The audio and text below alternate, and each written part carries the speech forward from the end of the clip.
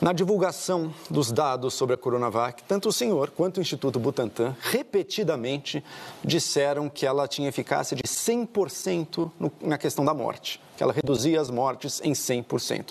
Ficou claríssimo futuramente que isso não é verdade, e especialmente para os pacientes, para as pessoas idosas, essa redução é substancialmente menor. Será que se tivesse havido menos política naquela divulgação, teria se passado menos uma imagem de segurança que não era real e que pode ter levado pessoas a se comportar de maneira mais imprudente, acreditando-se que estavam protegidas quando na verdade não estavam? Joel, uh, primeiro os dados não são meus nem do Butantan, são da Anvisa. Quem fez o estudo para homologar e validar a Coronavac foi a Anvisa, Agência Nacional de Vigilância Sanitária.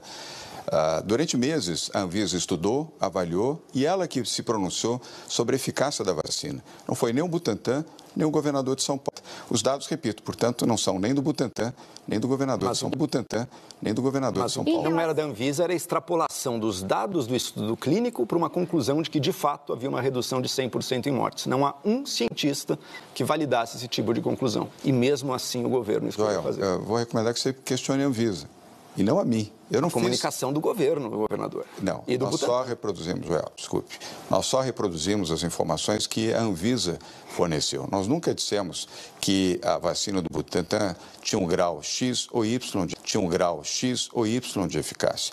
Quem fez isso, aliás, foi por isso que ela foi aprovada pela Anvisa. Os do Butantan falaram exatamente isso. Agora eu quero dizer a você, foi essa vacina que me salvou, porque eu tomei a Coronavac, estou salvo, estou vivo e estou aqui. E fui infectado duas vezes. Viva a vacina.